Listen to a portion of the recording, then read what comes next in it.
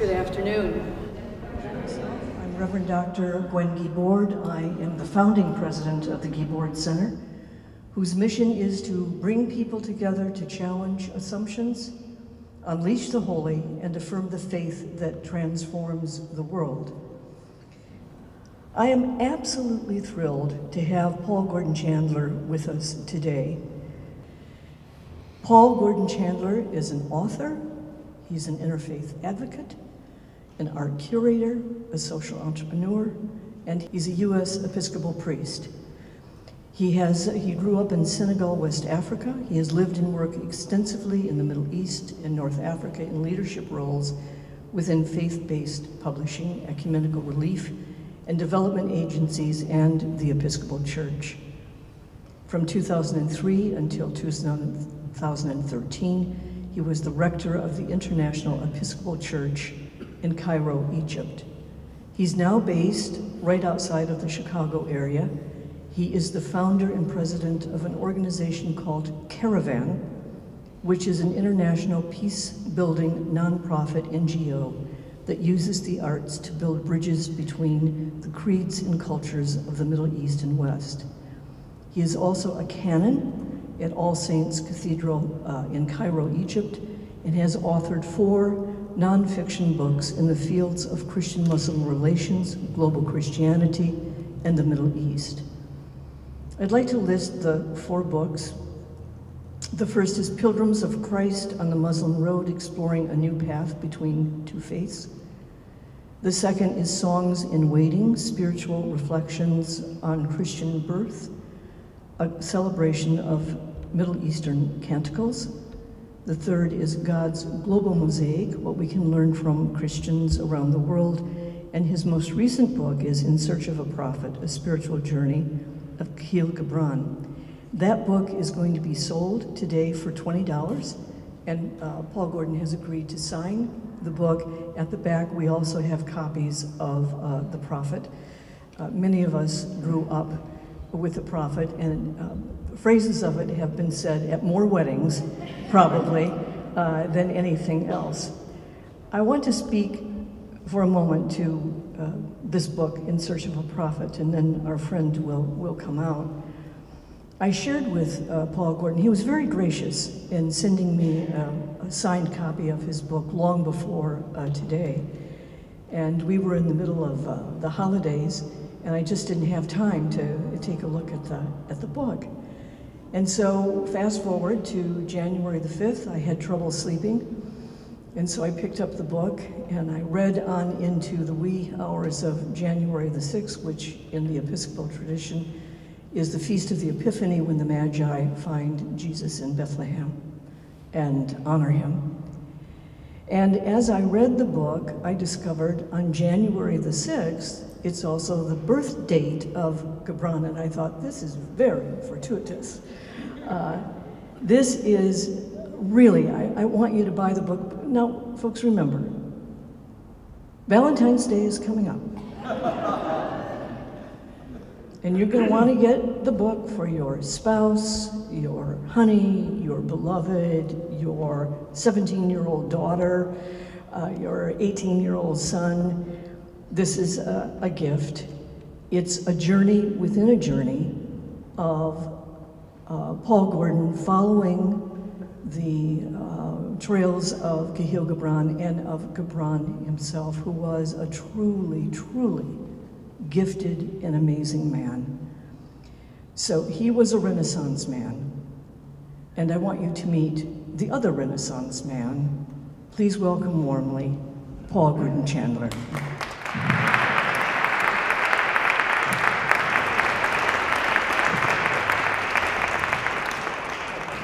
real honor to be here uh, this afternoon, and I want to thank the Guibord Center for this opportunity. I want to thank all of you for coming out on a Saturday afternoon from 1 to 3, no less, to hear about someone who I think is not only one of the most profound figures to have lived in the last century, but who I also think is exceedingly, increasingly relevant for our times. Someone who was a prophetic voice during his own lifetime and whose words I think are even more timely today. Kahlil Gibran, the early 20th century Lebanese born, Arab American, poet artist, and mystic, most known, of course, in the West as the author of the best selling book, The Prophet. I'm just curious, in an audience like this, how many of you, at one time in your life or another, came in contact with the Prophet or Gibran in some of his other writings? Just raise your hand. It's very interesting. You know, when I go around and speak, sometimes you have quite large audiences, sometimes 95% of those there have been influenced by, especially the prophet. But so few know much about him. I grew up in Senegal, West Africa, as was mentioned a minute ago, a Muslim majority context. I spent the first 18 years of my life there. And when you need wisdom or counsel in a context like that, you go to an elder, someone with life experience, someone who has gray hair. Some of you qualify in here in that category. And they always respond with proverbs or parables, usually in the local language, which is Wolof. And when I think about this long journey that I've been on of looking deeply into the life and the spirituality of Kahlil Gibran, which actually resulted in writing this book, there's a Wolof proverb that comes to mind. And it goes like this, first in the language of Wolof. Soame hade tugolo sa ngemba dutak muk. And it means this If you have a monkey for your friend, you'll never get your loincloth stuck in a tree. Meaning, it's who you know at challenging moments in time that makes all the difference. And there's no question that that was very much what was behind me going on this profound exploration, if you will, into the life of Kahlil Gibran. Sometimes something written long ago becomes seemingly even more relevant than during its own day, as happened here about a year ago with George Orwell's 1984, which shot to the best selling list, of course. And more than ever, I think there's a need to hear voices that call us to unity and to respect. That's what the, the, uh, the march is all about out there to be inspired to live deeply and generously in our thinking and our actions toward the other, whomever the other is. And I believe Kahlil Gibran is just that voice, and he offers us profound insights for our day, much needed wisdom and guidance. It's all started for me when I was living in the Middle East. I'm 53 years of age, and I spent most of my life in North Africa or the Middle East. And I was struck by how enthusiastically Kahlil Gibran is loved, both throughout the Middle East and certainly in much of the West. The East was proud of him, and the West admired him. He was very much this uniting figure. And it intrigued me to look more deeply, not just into his life and his work, but into his inner journey of spiritual development, his kind of spiritual formation, if you will. And in so doing, I came to discover that Kahlil Gibran is really the supreme East West figure. And as a result, can be very much for us what I would consider an unparalleled spiritual guide for our times, related to peace, related to harmony, certainly related to the building of bridges between the creeds and cultures of the Middle East and West. And his life and approach and work, they touch on so many of the critical issues of today. A bridge, yes, for us between creeds and cultures. Care for the environment, equality for women, interest in spirituality as opposed to institutional religion, immigration, the status of refugees, Syria and the conflict in the Middle East, the inclusive embrace of those of different faiths and looking for the best in each tradition. And the list goes on and on. And of course, he also touches on that spiritual depth that so many people crave. On the crisis in Syria during his time, he wrote, My heart burns for Syria.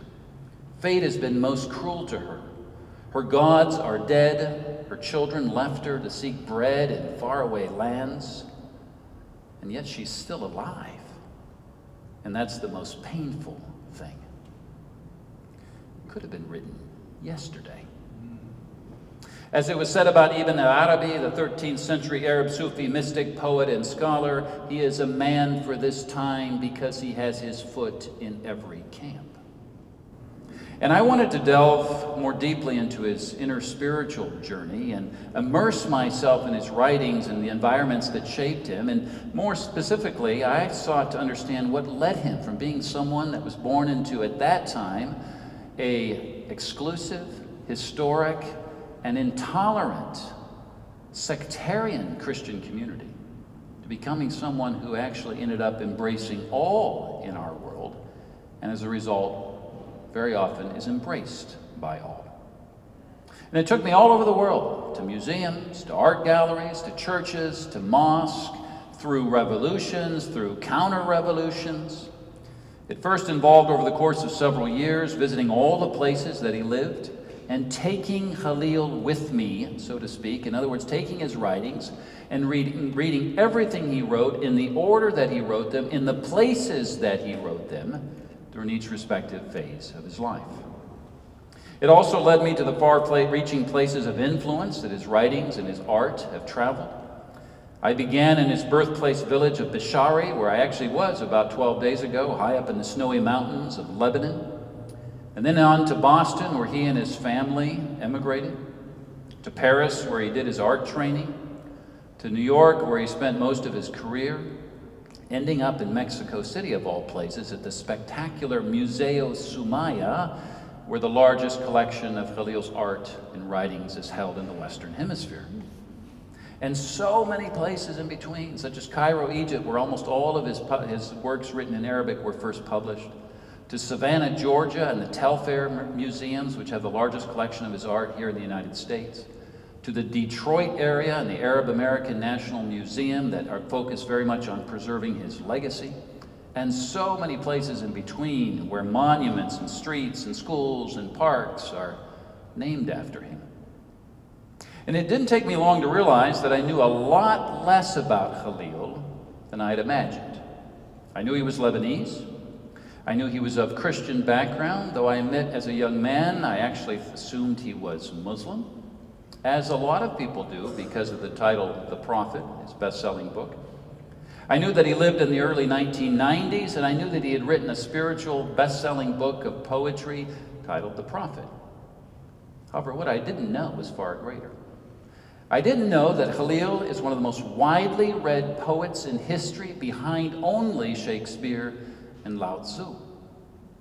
I didn't know that Elvis Presley was one of his greatest fans who gave away thousands of copies of The Prophet, had completely memorized it, was able to open it up, and you could just choose, pinpoint an area, and he could finish the entire book by heart. One of his last great projects was working on a feature film of The Prophet. I didn't know that the singer Johnny Cash was equally captivated by Kahlil's writings and message. I didn't know that he was a friend of the Teddy Roosevelt family. I didn't know that he was sought out after by the Irish poet William Butler Yeats to have his portrait drawn by him, and that Yeats's wife loved it so much that she begged Kahlil to do one of her as well. I didn't know that he knew and drew the Swiss psychiatrist Carl Jung and the Indian Nobel Prize laureate Rabindranath Tagore.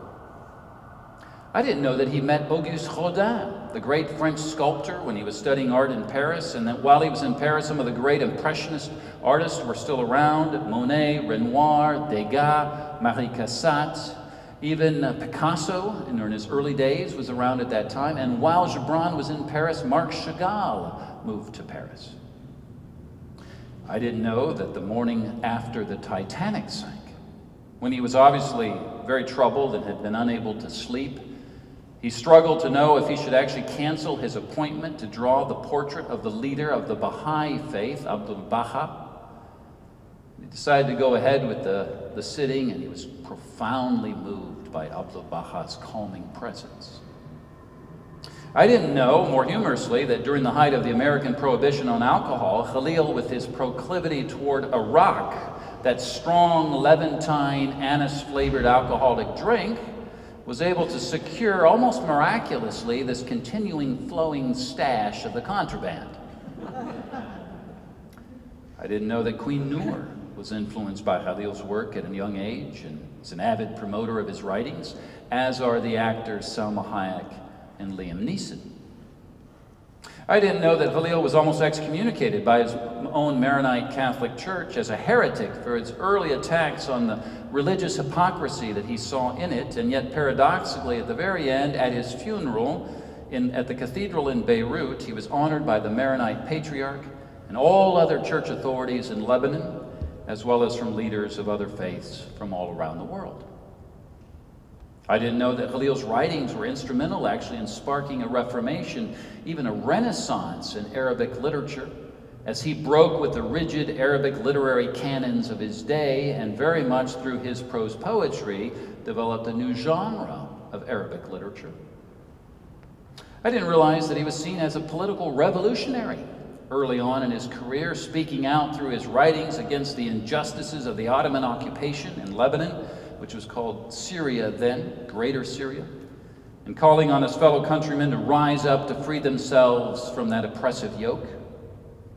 I didn't know that one of the wealthiest men in the world, Carlos Slim, a Mexican of Lebanese heritage, has one of the largest collections of Kahlil's art and writings down in Mexico City.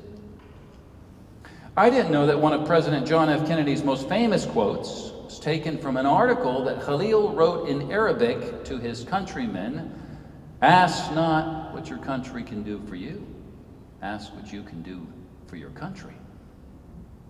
I had no idea of the scope of his influence worldwide, both of in terms of his reach geographically and as to the diversity and the breadth of the groups that identify with him. I remember being in Timbuktu, Mali, in the Sahara Desert, and in this little mud brick home of a Tuareg friend. The, the, the, the, the men in blue is what they're called there in the desert. And there, there's hardly any furniture in this uh, home, and there's a little rickety bookshelf there, and on it is a French copy of the Prophet. And he seems to be claimed by every group and circle imaginable. Kahlil the poet, Kahlil the novelist, Kahlil the essayist, Kahlil the activist, the revolutionary, the counterculturalist, Kahlil the philosopher, Kahlil the artist, Kahlil the painter, Kahlil the modernizer of Arab literature, Kahlil the prophet, Kahlil the New Age guru, Kahlil the visionary, Kahlil the humanitarian, Kahlil the Sufi, Kahlil the Christian, Kahlil the universalist, Kahlil the interfaith mentor. He's an enigma, begging the question will the real Kahlil Gibran please stand up? The renowned contemporary Syrian poet Adonis summed it up perfectly when speaking of Kahlil. He's a star spinning outside the orbit of that other sun in his universal acceptance.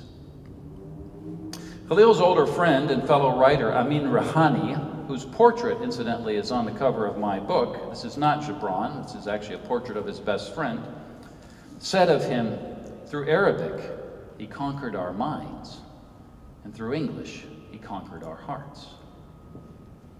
Gibran Khalil Gibran was born in 1883 into a Maronite Christian family high up in the mountains in Lebanon, a region known as the Kadisha Valley, which means the Sacred Valley. It was a place that had sheltered its people over the centuries through many invasions, and it resounds with majestic natural beauty, which had an important and a lasting influence on him. In contrast, though, to those gorgeous, peaceful surroundings, uh, he was born into a period of political and interreligious strife, as, one, as, as well as one full of religious corruption by the authorities, the religious authorities, during that latter part of a 400 year long Ottoman occupation. All circumstances that would influence his life and work for years to come.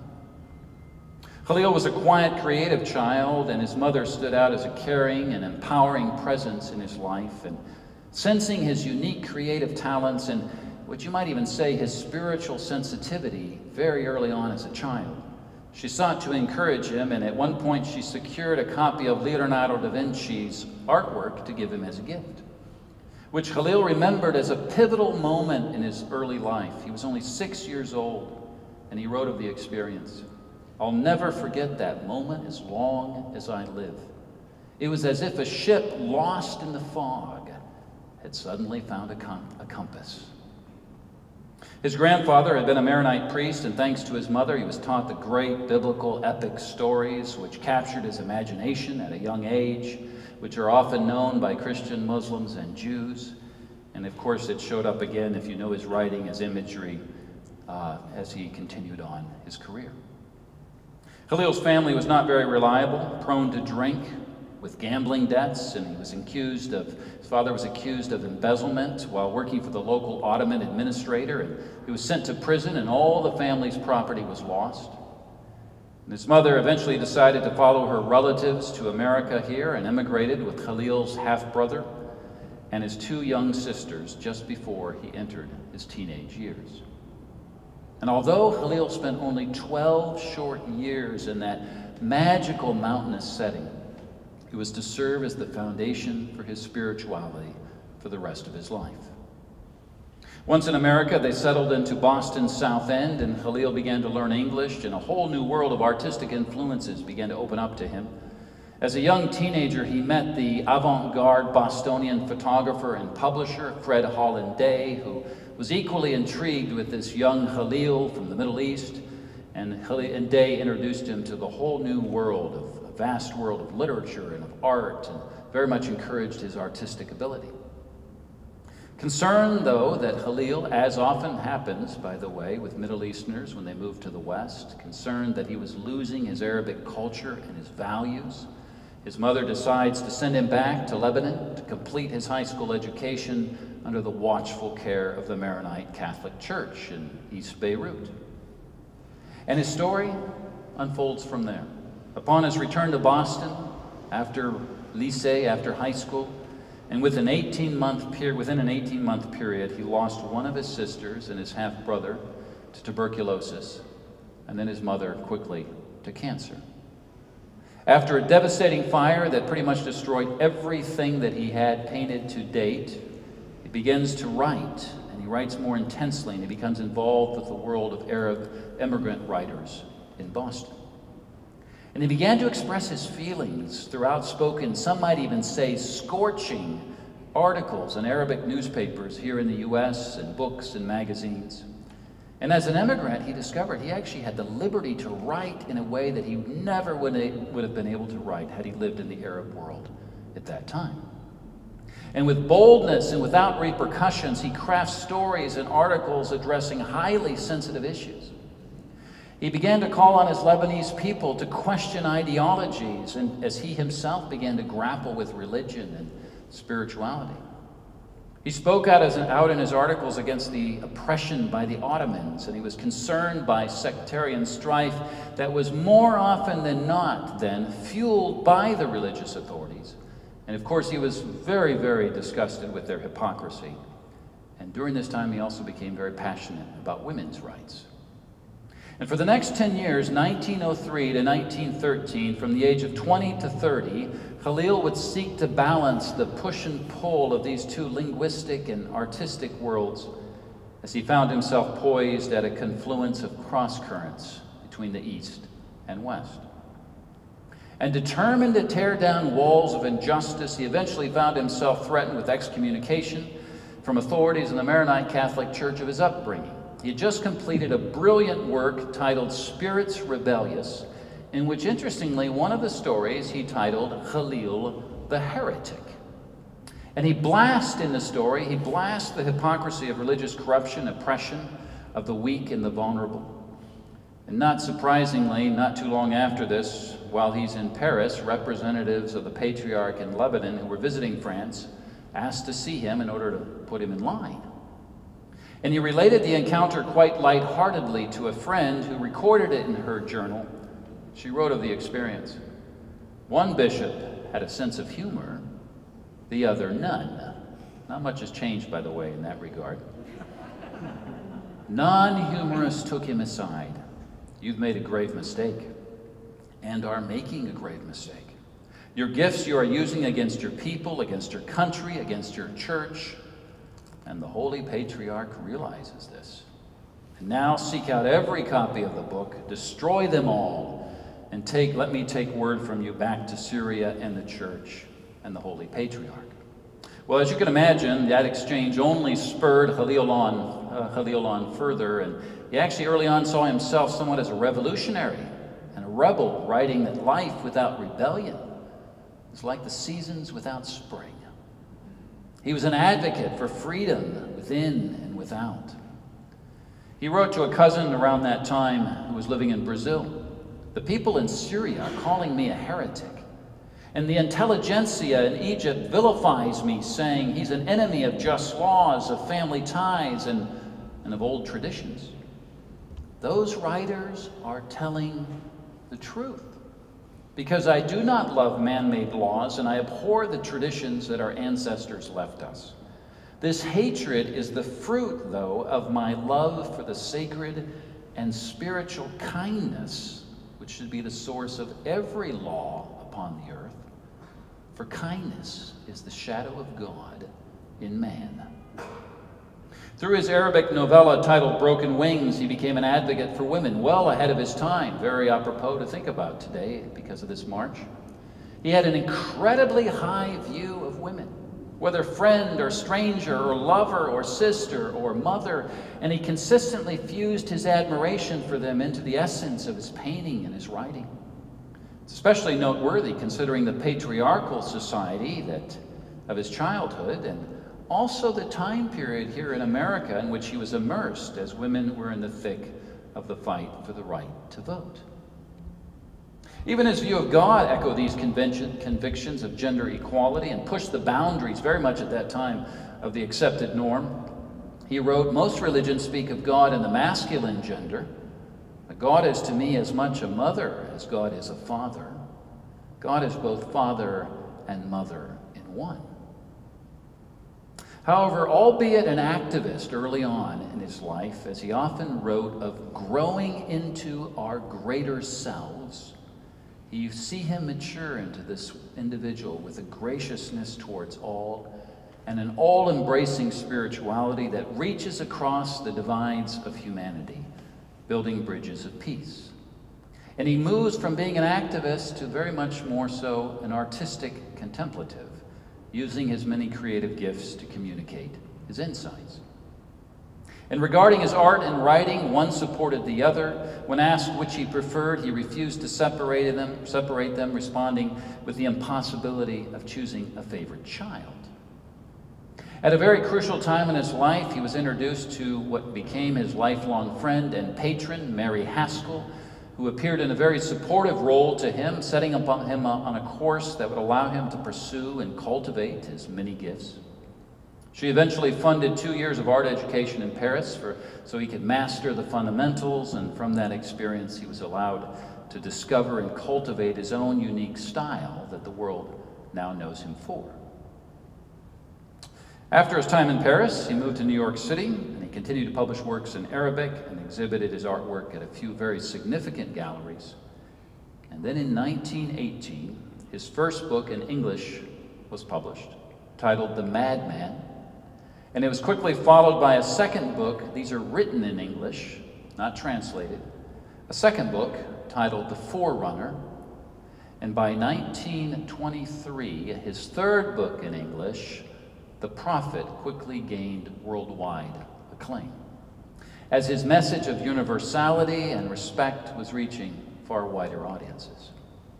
He also worked on his longest English book, Jesus the Son of Man, for much of his adult life, seeking to return the Jesus that he very much felt had been disfigured here in the West back to his Middle Eastern origins, publishing this creative masterwork just three years before he died at the age of 48.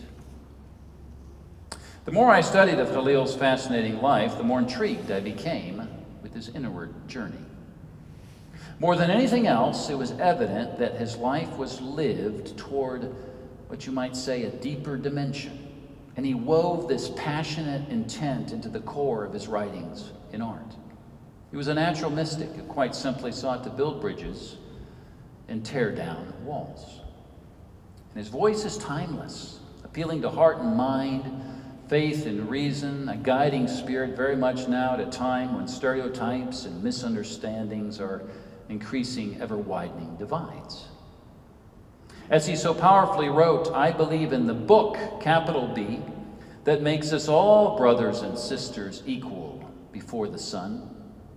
I believe in the teachings that set you and me free from any kind of bondage and place us unfettered here upon the earth, the stepping place of the feet of God. Certainly, heeding his wisdom would go a long way to healing our world. And in this regard, I think it seems to me that there are two overarching themes to Kahlil's life and work. And the best analogy I can think of is one that he used a lot, that of a river. But as I think of his life, I think of it as a river flowing deep and wide. As he plumbed the depths of his inner life, he went to the core of human existence. He was forever exploring the deepest of life's questions on the purpose of being, he writes. Spiritual awakening is the most essential thing in life, and it's the sole purpose of being. He who does not befriend his soul is an enemy of humanity, for life emerges from within. He described himself as literally going into the silence, intentionally so. He wrote, Only when you drink from the river of silence shall you indeed sing. He even named his New York studio the Hermitage, and he decorated it sparsely in a manner that created a contemplative atmosphere for him. A simple wooden bed, several crucifixes made of wood and metal, a small brass chalice, an easel, a tapestry, a large tapestry of a Middle Eastern Christ that hung on the wall behind, on, above an altar like table with two big brass candlesticks. I love Kahlil's short story titled The Tempest, that's very well known in the Arab world. It's infused with the imagery of a hermitage, a hermitage in his childhood village in Lebanon. It's actually now the place that he's buried. The story tells of a young man who's roaming the cedar forest there in the mountains one autumn afternoon, and he gets caught in a terrible rainstorm. And he seeks cover in an isolated shelter that's actually inhabited by a hermit named Yusuf. And he's heard of Yusuf from the local villagers and had longed to meet him one day to learn his spiritual secrets. And this storm, of course, provides him the perfect excuse. And when the young man is welcomed into Yusuf's shelter, he notices that the old man is tending to a bird with broken wings, so symbolism abounds here. And the old hermit engages in conversation and slowly imparts his wisdom through all this beautiful imagery. And he shares that he left the world to live in the awakeness of life and to think upon the compelling and beautiful mystery of existence. I, he says, I came to this far corner of God's domain, for I hungered to learn the secrets of the universe and approach close to the throne of God.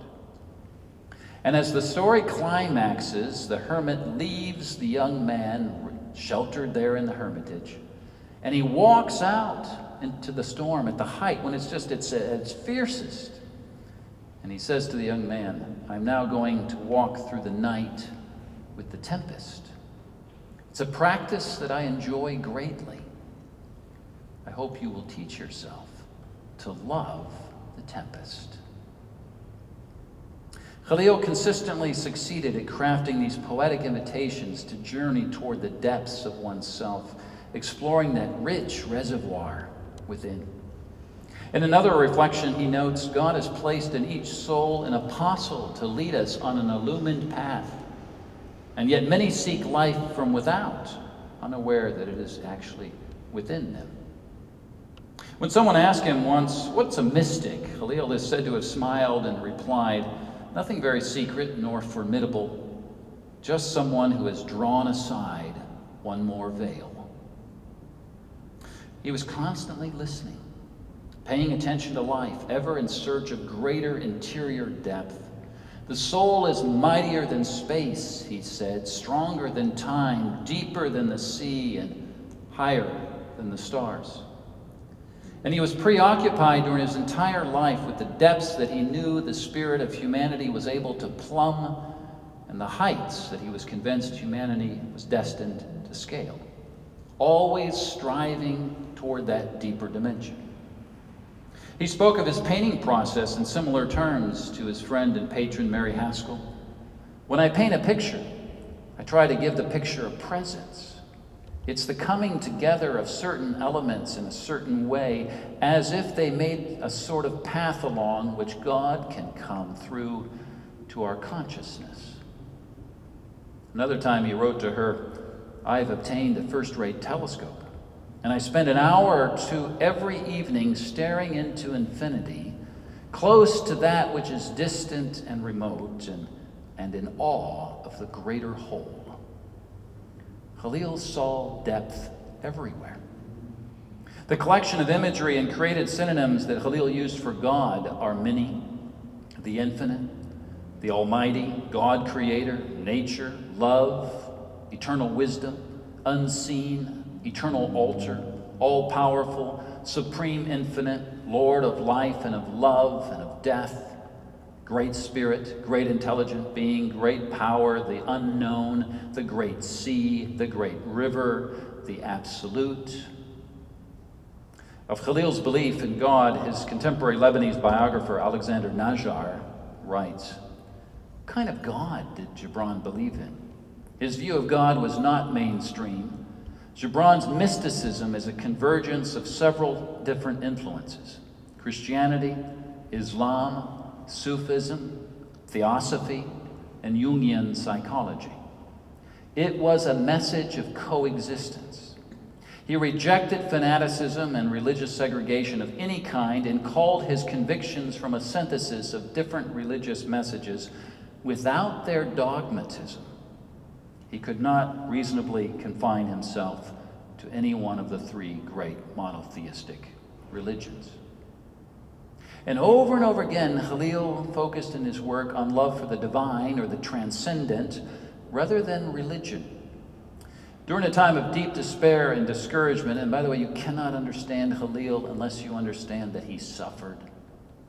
During a time of difficulty, he said, But somehow, when I feel like a little helpless fish in a muddy lake, I cannot help but say to myself, The air which is above the water is not muddy.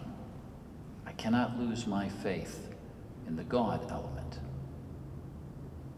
And in a time when I think it becomes harder and harder, actually, to listen to our inner selves, our souls, or however you want to term that, listen to what we may need spiritually, I think he exemplifies someone who journeyed intentionally inward, creating room for silence and to listen to the quiet nudgings of his soul and intent on allowing both the high and low moments of life to weave together into one voice.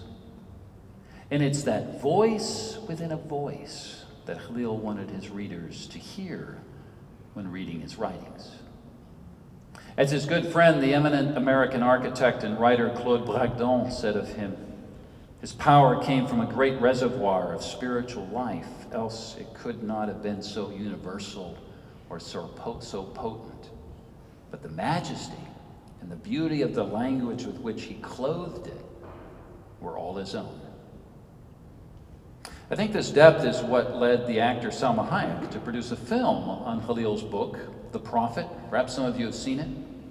One of my most enjoyable kind of research trips on working on this book was to go to the premiere of The Prophet at the Toronto International Film Festival and it's an adapta- ad- animated adaptation of The Prophet, and it's directed by Roger Allers, who's most known for The Lion King. And the film, actually, I found, was a visual extravaganza with animated chapters from award winning animation directors from all over the world and beautiful music featuring world class musicians, singers, and composers such as Yo Yo Ma and Gabriel Yared. It was a deeply moving experience for me.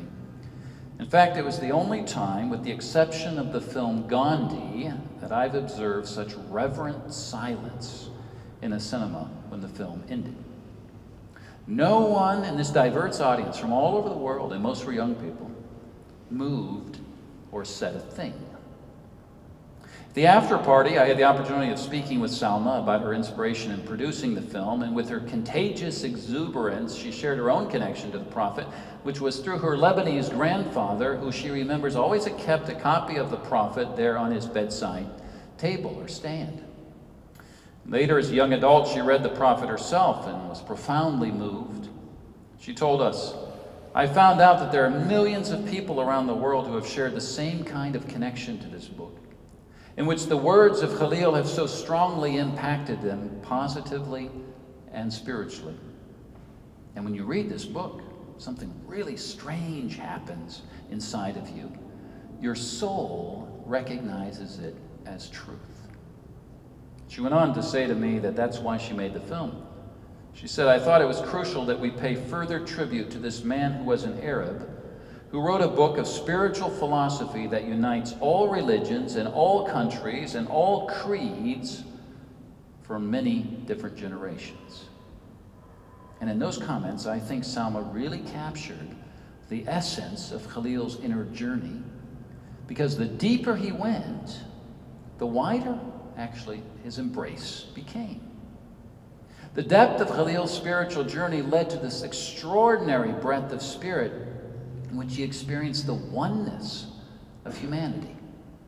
The reservoirs that he cultivated in the deep actually gave him the capacity to go wide.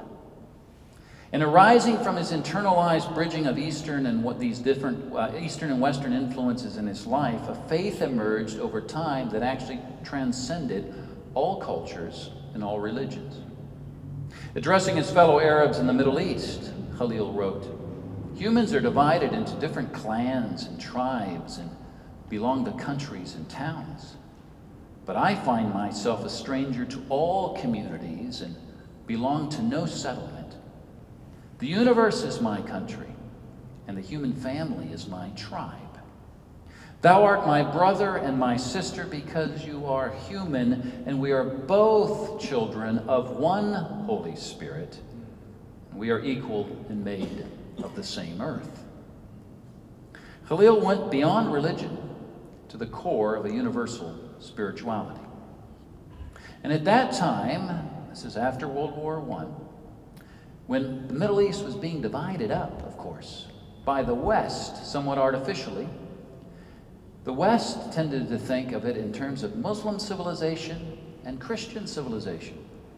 Kahlil only thought of it as one civilization. And his beliefs cut through such divides, reaching across to the other. And as he power, so powerfully said, Your neighbor is your other self, dwelling behind a wall, and understanding all walls fall down. Obviously, he recognized the necessity of boundaries and nations, and yet he very much strove toward a borderless citizenship that transcended geography. I love the way he addressed his collective embrace for humanity with this, the beautiful poetic visual imagery of a cloud. He wrote, Should you sit upon a cloud, you would not see the boundary line between one farm and another, or between one country and another. It's a pity you cannot sit upon a cloud. Just before the onset of the First World War, Kahlil wrote an essay titled An Open Letter from a Christian Poet to Muslims. And in it, he refers to himself as a Christian who placed Jesus in one half of his heart and Muhammad in the other. Kahlil's ever embracing spirituality continued to mature and was thoughtfully expressed in his collection of aphorisms in English titled Sand and Foam. And in that he wrote, Should you really open your eyes and see, you would behold your image in all images. And should you open your ears and listen, you would hear your own voice in all voices. Obviously, words that continue to echo and inspire. In touching on the most sensitive topic of all in the Middle East, religion, he does so by looking to the nature of God. You are my brother and sister, and I love you. I love you worshiping in your church, kneeling in your temple, and praying in your mosque. You and I are all children of one religion, and the varied paths of religion are but the fingers of the loving hand of the Supreme Being extended to all, offering completeness of spirit to all, and anxious to receive. And finding a way to powerfully communicate a non sectarian version of spirituality was something that weighed very heavily on Kahlil. And consequently, he felt all the events of his life seemed to lead him toward the creation of his most well known book, The Prophet. Of the Prophet, and this is what it looked like when it first came out, it was called The Little Black Book. Of the Prophet, he wrote, It's the biggest challenge of my life. My entire being is in the Prophet. Everything I've ever done before was only a prelude to this. And he felt almost a sense of sacred responsibility while he was writing it, as if it was to be a holy book. Even the process of writing it was a type of spiritual rebirth for him. And embodying East and West, it speaks to people from all religions, and it prompted his friend and patron and sometimes editor, Mary Haskell, to remark upon first receiving a copy of it when it was released Oh, Kahlil, it's the most loving book ever written. The prophet actually made his literary debut in a public reading in Manhattan's uh, East Village at St. Mark's in the Bowery, an Episcopal church. It's the oldest continuous place of practice, of religious practice in New York. And the then rector at that time was a very progressive person, and he was a close friend of Frank Lloyd Wright. He knew Kahlil, and Kahlil exhibited some of his art there for a while. And then when the Prophet came out, he invited him to have a public reading of the Prophet. Kahlil didn't do the reading. They invited a well known actor, Butler Davenport, to do it. And Kahlil was there. I gave a talk there not too long ago, and they supposedly they showed me where Kahlil was sitting during that first public reading. And there, after the reading, Kahlil said, well, he said two things. The first thing he said, I sure wish he hadn't read the whole thing. And then the second thing is, I had first wanted it read in a church.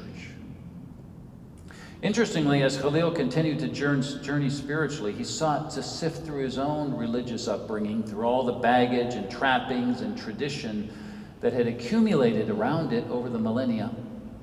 And just as the Dalai Lama is said to have encouraged the Trappist monk and writer Thomas Merton to not convert to Buddhism, because he was very much taken with Buddhism, but instead to go deeply into his own tradition and find its core essence, Kahlil finds himself actually doing the same thing and discovering the figure of Jesus actually in a new way.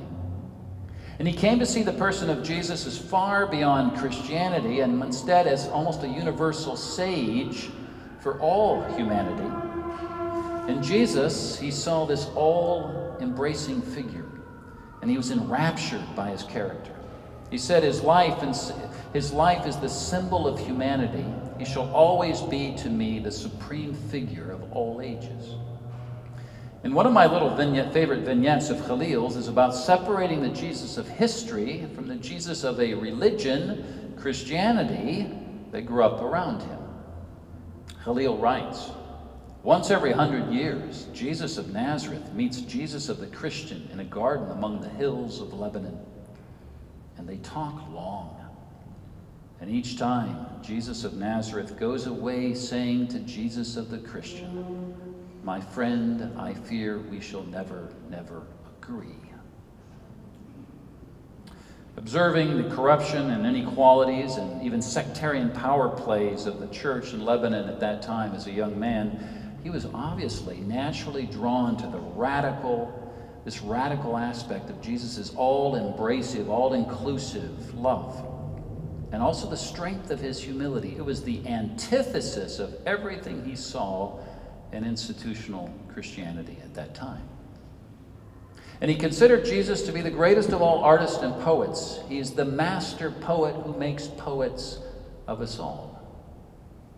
He also pictured Jesus as a fellow Middle Easterner, and he felt this deep personal cultural connection to Jesus, and hence the opportunity to write about Jesus' life became this ever increasing aspiration. Jesus, the Son of Man, was the longest and the last book that Kahlil wrote before his death. Some actually see it almost like a fifth gospel, and in it he delivers a mesmerizing picture of the essence of Jesus. Although Kahlil often spoke directly of God, his writings and his art were infused with a far greater concern, that of living in harmony with one another and with all creation. He wrote, I bid you to speak not so freely of God, yes, who is your all, but rather speak to and understand one another, neighbor unto neighbor. Ideals, of course, so important and so necessary in our contemporary context. Also, to Kahlil, while spirituality served as an attempt to connect with the divine, he realized that it could not be found in creeds or dogma, and that to search for God solely in a mosque or a church or a temple was very much to limit one's search for wholeness. And so his quest became this opportunity to unearth that which was woven into the very fabric of creation, in other words, the environment.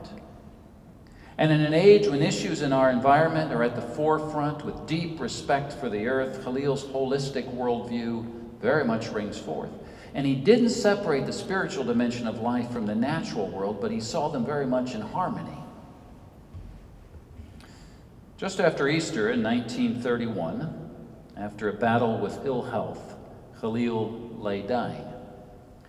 He was taken to St. Vincent's Hospital in New York City, the same hospital that actually received survivors from the Titanic disaster for treatment, and was then again used to treat victims of the September 11 attack.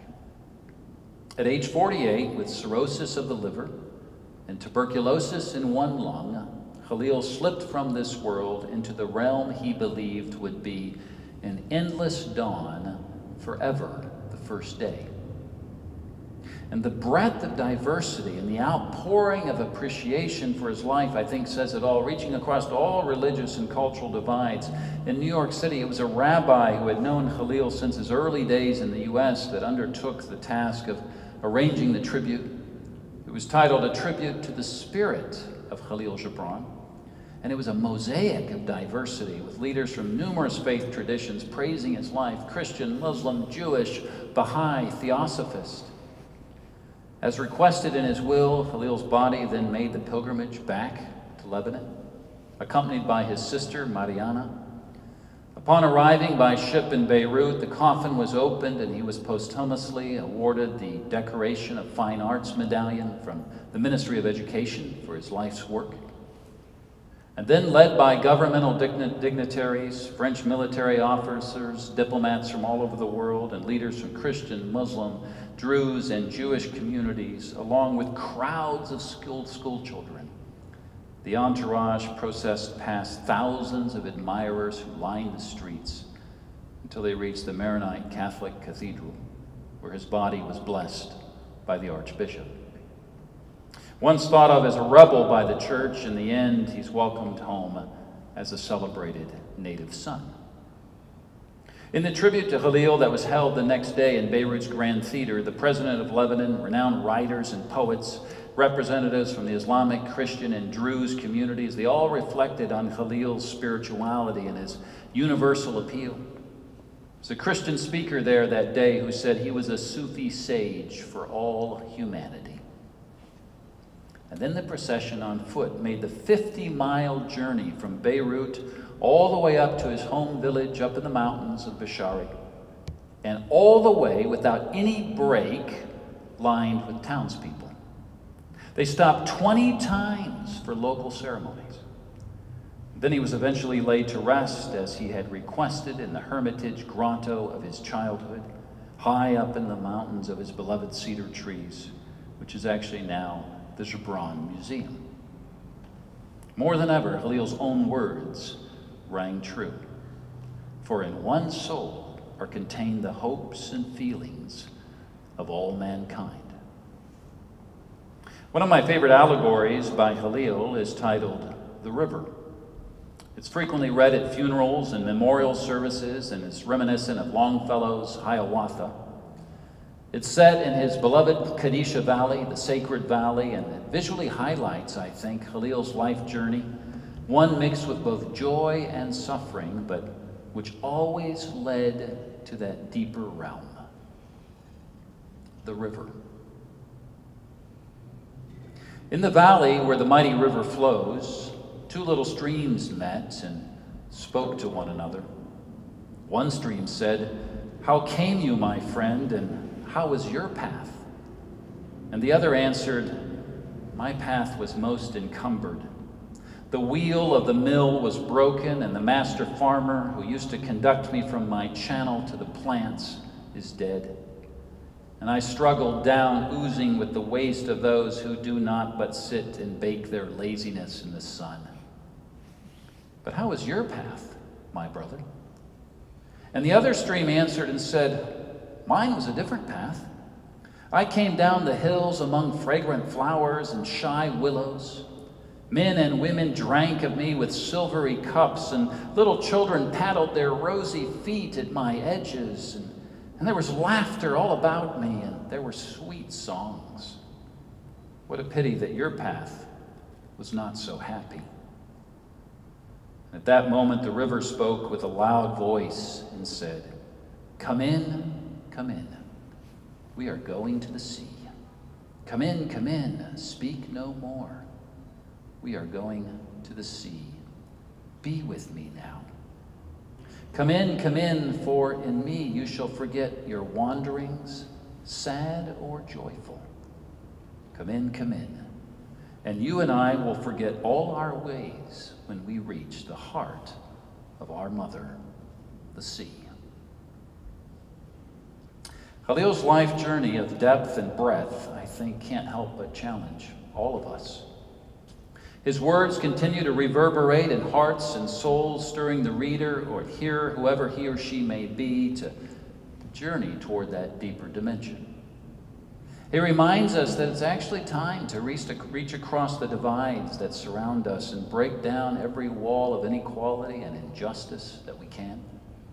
It's time to build bridges in whatever ways we can conceive and seek peaceful resolutions. It's time to defend the vulnerable and the oppressed.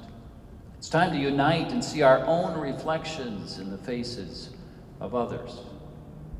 It's time to, carve, to find a way to carve out room for quiet and respect for creation, the environment. And it's time to even delve deeper into our own spiritual traditions and past out all the outward imperfections and trappings and to the core of life. In one final vignette from Kahlil, his words inspire and challenge us towards, as he often said, our greater selves. It's titled, Said a Sheet of Snow White Paper. Set a sheet of snow white paper, pure was I created, and pure will I remain forever. I would rather be burnt and turned to white ashes than suffer darkness to touch me or the unclean come near me. And the ink bottle heard the white paper saying that, and it laughed in its dark heart, but it never dared to approach her. And the multicolored pencils heard her also, and they too, though, never came near her. And the snow white sheet of paper did remain pure and chaste forever. Pure and chaste and empty. I close with the moving words of Kahlil's good friend, Mikhail Naimi, who wrote the first biography of Kahlil just three years after he died. For some purpose unknown to you and to me, Gibran was born in Lebanon at the time he was born. And for a reason hidden from you and me, Arabic was his mother tongue. It would seem that the all seeing eye perceived our spiritual drought and sent us this rain bearing cloud to drizzle some relief to our parching souls. Thank you.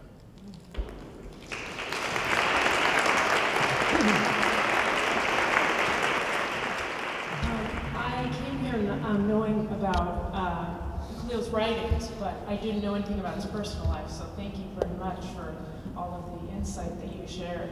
Uh, my question, or my curiosity, is about his sexual and romantic life. Can you speak to that at all? Yes. It's an interesting first question. Uh, yes, Gibran uh, was very close to a number of women. Uh, some he loved in the sense of romantically, others he loved in the sense of soulmates. Uh, he never married. Uh, he did propose to a woman who was about 10 years older. Uh, one time, Mary Haskell, who I mentioned briefly. And at that time, of course, you can imagine she's very much from the establishment.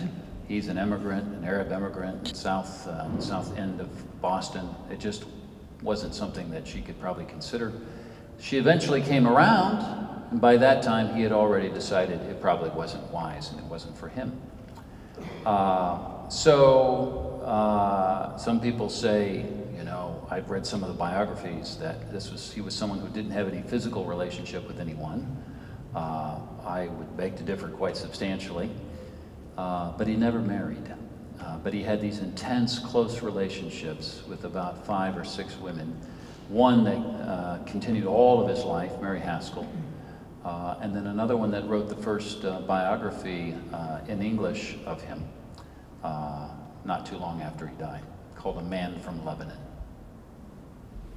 A question has come in from online. What do you think Gibran would say to us today in this country about how to get back on the right path? Mm. I think I spoke to a lot of that in many ways. I think he would uh, very much be all about uh, trying to see ourselves in the other uh, and realize that, I mean, he, what he did is his, the, the, his deep journey. He went uh, into himself and he discovered that we're all the same at the end of the day, regardless of faith tradition, regardless of culture. And if we think our time is divided right now, his time was actually very divided, especially in his part of the world. So he faced similar challenges.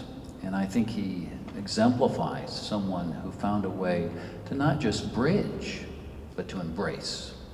And not just embrace, but to be complemented by in his own life because of the difference of the other. Thank you. Another question from any of you. Thank you for that. That was wonderful. Um, I was wondering if um, you were most aware of Gibran's work before you embarked on your caravan, and was this all sort of symbiotic, or is this what? And also, the second question is, um, do you think the travel is something that infuses people with this, and is it a requirement for that breadth of soul searching? Tra- the travel? Right. You mean into Gibran's life? And your life also. Oh, my life, yeah. I mean, I first became interested in Gibran when I was in high school in the, on the Ivory Coast, Cote d'Ivoire. And the Lebanese uh, student, a colleague of mine, brought home after the holidays a copy of The Prophet. He was from Shia, Muslim background, and so I naturally thought, that's why I thought, oh, it must be, you know, related to Islam. And he was obsessed with it as a high schooler. So that's where I first heard of it. Then, when I was doing, uh, and of course, like many, I had heard of the book, The Prophet, though I hadn't actually read it. And then, when I was doing research for another book, the one just prior to this, uh, on, a, on someone who bridges between Christianity and Islam, he's a well known Syrian novelist named Mazhar Mallouhi. And the, he calls himself, he self identifies as a Sufi Muslim follower of Jesus. Can just in that phrase, he's bridged a lot. Uh, it was during that period that I was struck, because everywhere I was going, I was hearing about Kahlil Gibran in the terms, especially in the world of Arab literature and spirituality. So I was intrigued, and that's what caused me to look a little more deeply into it. In terms of actually the element of travel or how to, I mean, what I've come to see is I've come to see, the way I like to describe it is, and this church is a this cathedral is a great example because you've got all these mosaics here. I like to see it as this divine mosaic with each little chip, each little piece being a different cultural and religious and spiritual expression. And we are only complete when all of those little chips are visible. And, uh, and that's when we're most whole. So travel sometimes helps in that, uh, but I think it can be anywhere. But I think it's a worldview, it's a mindset. Uh, and actually enhancing our own faith tradition, regardless of what that is, by the experiences of the other. Hello. So many people have relied on Gibran during times of personal adversity, and I know you mentioned he experienced the loss in a short time period of his family members. Were there any other episodes in his life that were particularly dark times from which he draws kind of these words that are so comforting um, to so many? It seems other instances in his life suggest a sense of um, insulation to some degree from deprivations of a more material kind, and I would just be interested in your thoughts on the balance between circumstance and his writings, which reach people in circumstances of all types. Right. Uh, yes, he had different, he had this, the early suffering on in the sense of uh, his family passing away and losing his art and all of that. I think he suffered on a number of levels. I think he suffered in the sense of the cross-cultural identity. You know, he really wasn't from here, and he was no longer there. And he longed for that, but he never went back as an adult. I think he, financially, he suffered quite substantially. So he had a patron, but it wasn't a wealthy patron in that sense. And he was involved in some financial dealings that collapsed, and he lost pretty much everything. I think he was a true artist, which meant he felt deeply. So there's some interesting letters written after he died about during World War II, uh, where his sister and one of and the women that wrote the first biography of him here in the United States are writing and talking about, thank God Halil's not around. He couldn't have been able to handle it in terms of the feeling, the, what he would feel, the pain. And of course, he felt tremendously uh, a lot of pain for his own people during World War I, uh, especially in, during the Ottoman era, toward the latter part there, that Ottoman occupation, where there was a lot of famine and starvation going on uh, in greater Syria at that time. So from a number of angles, I mean, he died largely of cirrhosis of the liver, which means he put down a lot of arak. And one of the things I like about Gibran, so he was coping interestingly. And I never, I don't believe he would have said, follow me in the way I'm living. He was about pointing a sign, a direction from what he was learning and experiencing. Uh, and one of the things I think um, that that's why he gravitated to William Blake.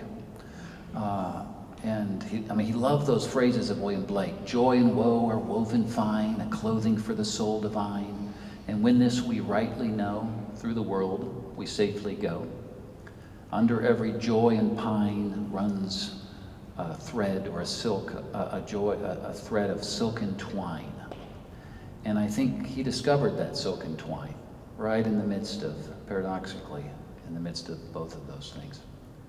So I'm attracted to Gibran because he's not a saint. He's we can identify with him, you know, in that sense. He's not this other you know, out there. But I do think that suffering led to the depth in many ways.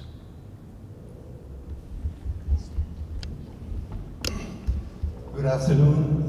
This is not a question, but uh, a big uh, thank you from uh, World Lebanese Cultural Union. I belong to World Lebanese Cultural Union. My name is Alpa Jabarian. I am Armenian Lebanese American. So is Mr. Ed, Edward Karim and his wife.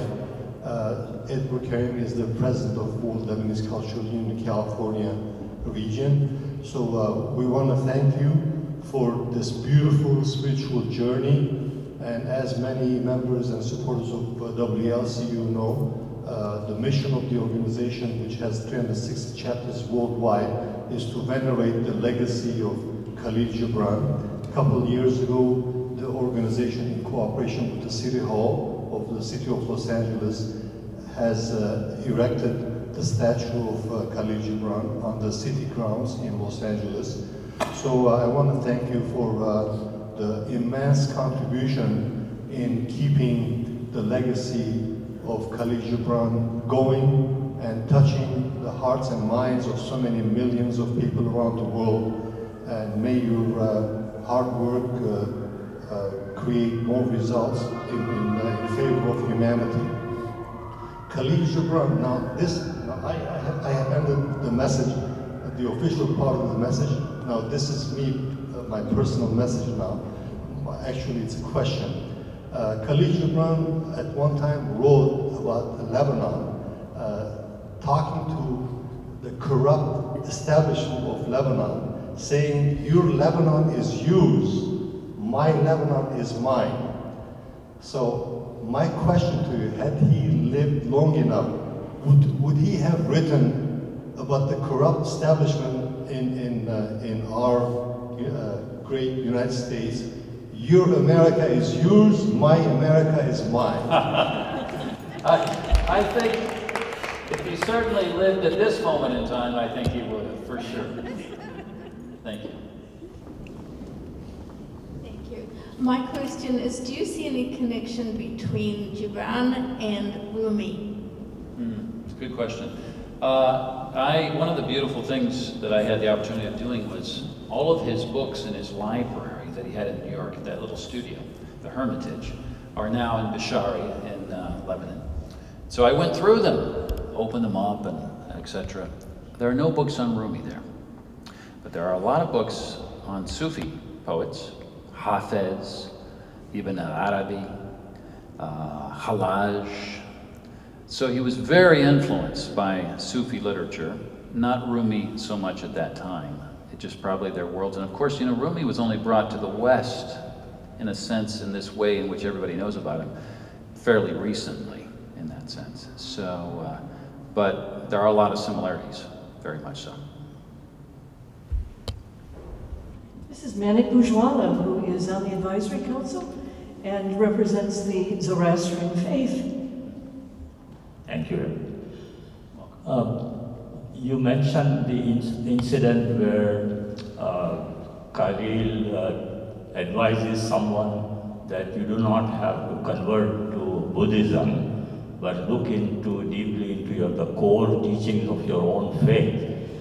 So, did he realize, uh, you know, in his mind, uh, the problems that are caused by different religious groups, you know, trying to convert people from one good religion to another. And was he trying to suggest, you know, that you don't need to convert, just look into your own faith? Mm-hmm. It's a good question. He writes never about conversion. Of course, what he does do is he assimilates other parts of other faith traditions into his own to create his own spiritual journey. Um, so he's that is that he was not oriented that way at all. It's interesting though, culturally in the Middle East, you know, if you're born Muslim, you're Muslim, even if you don't practice. If you're born Christian, you're Christian. And uh, so, hence, you saw he titled that letter "A Christian Poet to Muslims." Okay, he wasn't a practicing traditional Christian, but culture, identification-wise, he was Christian. Um, so no, but he wasn't about proselytism and that kind of thing. Uh, this came from our um, uh, live streaming.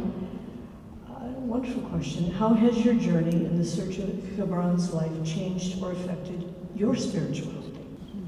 I think, uh, well, we all change by experiences, don't we? And of course, obviously, this has had a role in, I mean, it played a part in my own life. Uh, I've been on a journey. I grew up in Senegal, West Africa, Christian minority within a Muslim majority context. All my friends as a young man were, were Muslim. And there was no difference. But then as I got older, I remember my teenage years, beginning to observe adults very clearly start making distinctions.